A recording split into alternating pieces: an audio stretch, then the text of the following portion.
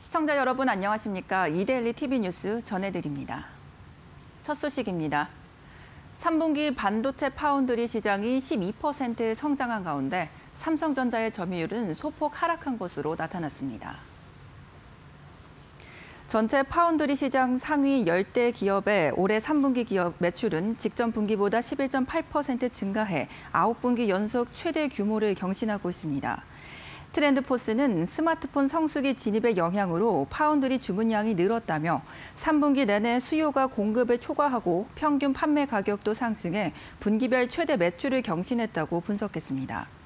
삼성전자의 3분기 파운드리 매출은 2분기보다 11% 증가한 48억 1천만 달러로 TSMC에 이어서 2위를 차지했습니다.